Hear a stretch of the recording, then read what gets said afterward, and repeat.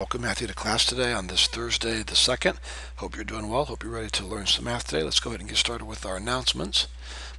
Uh, first of all, we will have a quiz on Saturday, so make sure you're ready for your quiz on Saturday.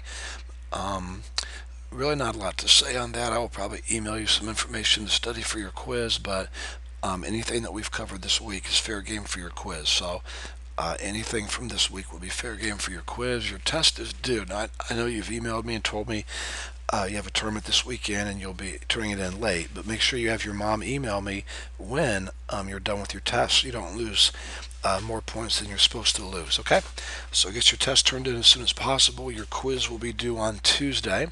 Uh, please stay on top of your videos and your homework. Uh, schedule today will have notes only and no homework.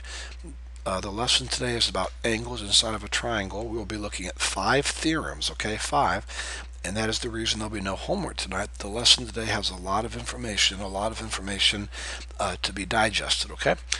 Uh, the name of the video I'd like you to watch today is Angles of Triangles, Angles of Triangles.